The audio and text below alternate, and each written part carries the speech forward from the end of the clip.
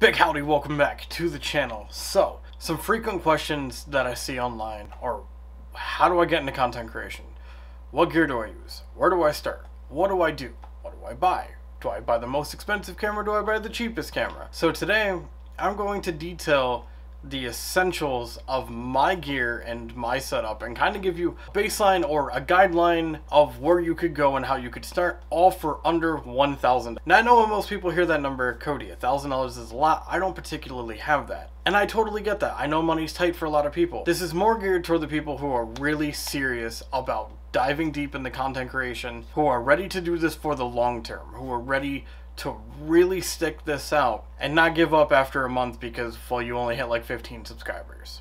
But I'm also going to show you some cool little tips and tricks that I've found along the way and pass them along to you on a couple of things of how we can alleviate the potential burden of the total cost of everything and help you maybe piece out your sets over time. You don't have to buy anything on this list. Maybe you in particular have found a setup that's much cheaper, that works better for you, that executes the same kind of quality. One of the biggest standards right now in content creation is 1080p. Most people really can't even tell the difference between 4K and 1080p. The human eye doesn't really register that. Most people can't tell the difference between between 4 and 6k and above. So let's jump straight into the video. Alright ladies and gentlemen, first up we're going to start with the bulk of the cost. And that really comes down to the camera right? I'm currently using the Sony ZV-1 as you hear see here on screen. Now, the Sony ZV-1 is listed at $749.99 or $62.50 a month if you're approved for the Best Buy credit card. Now, I went this route, but I didn't pay $749. Let's take a look.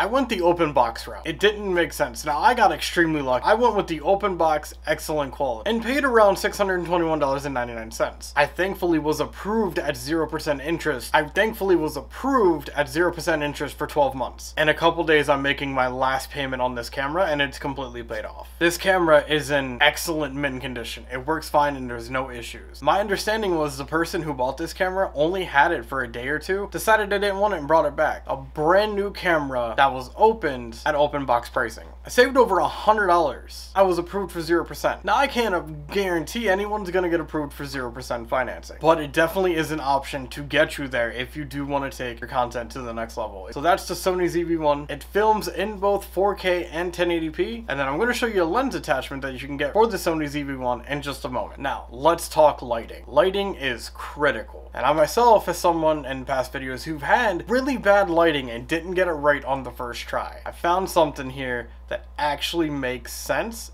and is well affordable. The Logitech Litra Glow for creators.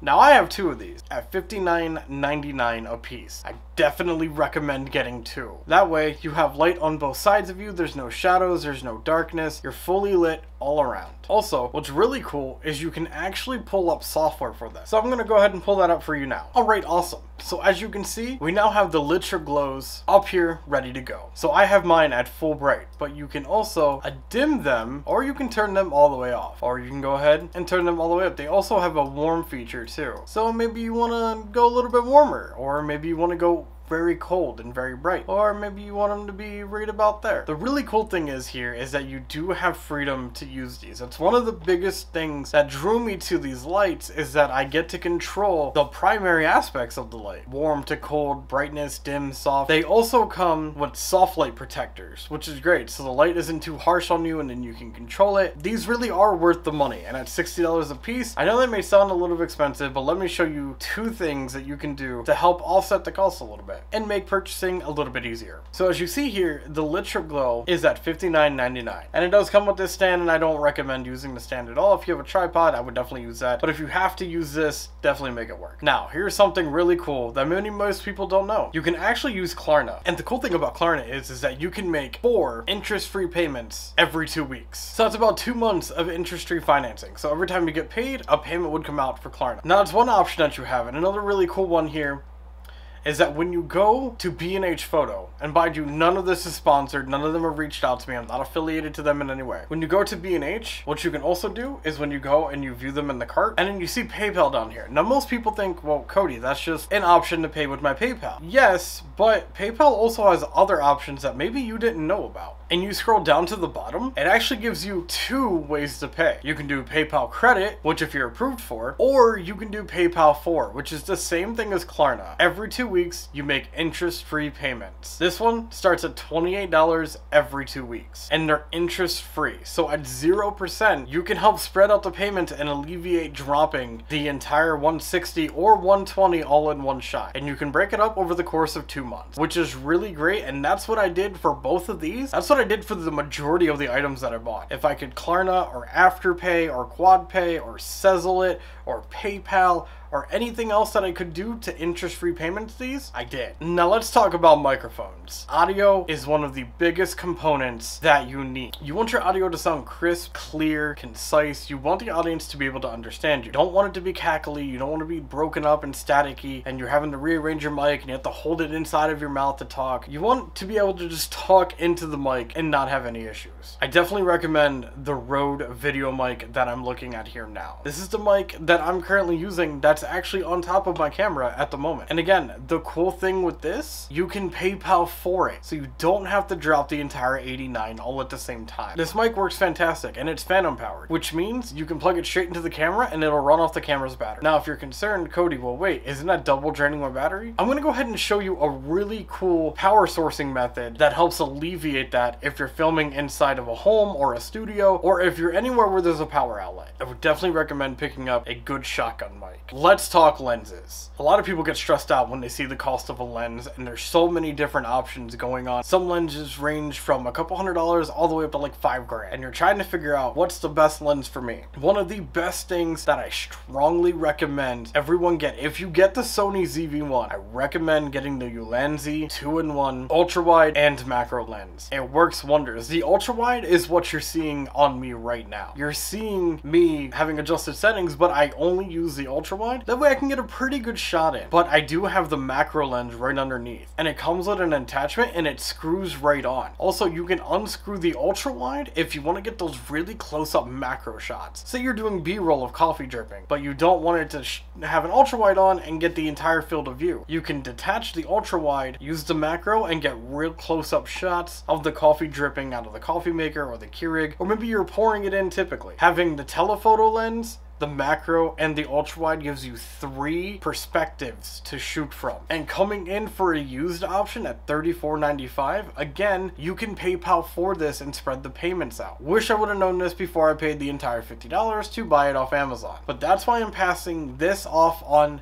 to you. You're crazy if you buy this camera and you don't get the two-in-one lens combo because now you have three lenses. So for an affordable option like this, it's essential that you get this with the Sony ZV-1. Let's talk tripods. Tripods are critical. Maybe you want to go out and you want to vlog around the city. Maybe there's this really cool place that you want to go to, but you don't want to hold your camera arm's length the entire time. Maybe there's no flat surface for you to set your camera on. Maybe the surface you're trying to set your camera on is tilted. Definitely recommend the Gorilla tripod. It's actually what's holding holding one of my lights here right now because I ended up buying another clamp tripod or a clamp stand to attach my desk. Having the Joby tripod is essential because it can wrap around trees, it can wrap around bars, it can wrap around other tripods, and it's good flexible. Maybe you don't want a tripod that just stands straight up and you can't adjust the angle. With this, it also has a ball head on it, so I can bend the legs, I can adjust the tripod head, I can get the shot that I need, the angle that I need, or I can stand it straight up. Having a tripod is essential.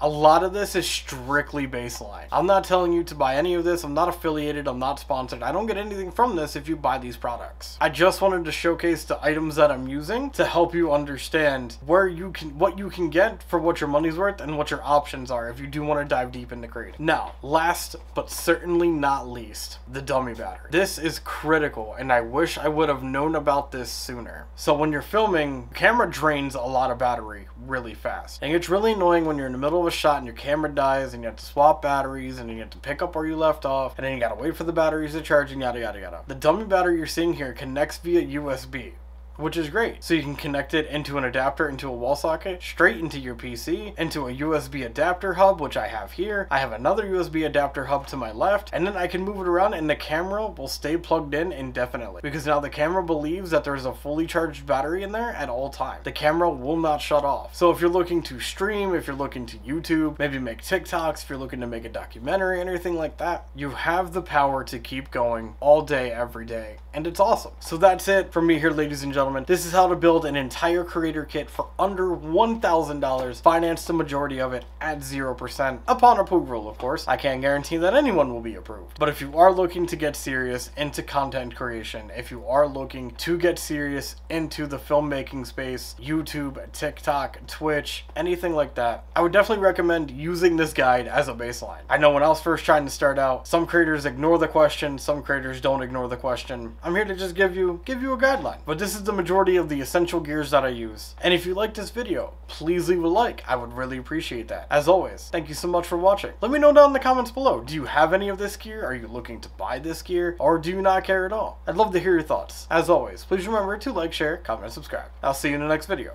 and you take care.